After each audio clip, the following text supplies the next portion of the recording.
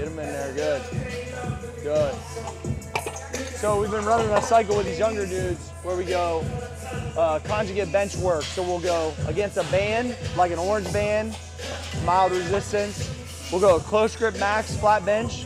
We'll do a bodybuilding day, then go back to a regular max. That's been our like four week cycle. They're on their bodybuilding day, so we're doing incline as a priority with dumbbells, and then a lot of shrug work, and then flat bench, and then a bunch of supporting structure. And they've been moving up almost every week. Good job, Connor. Come on. Five sets, eight to 12 reps. Good. Come on, Connor. Get in there, get in there. I got you. Come on. Drive, drive, drive, drive, drive. Good. Come on, another one. Press, press, press, press, press, press. Good. Just getting that good foundation, building blocks.